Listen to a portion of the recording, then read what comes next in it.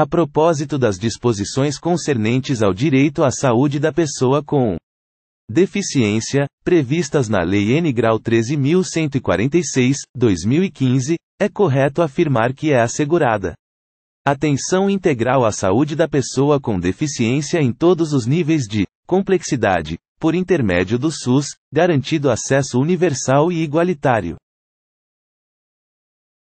Analisando a questão, você responde: verdadeiro ou falso?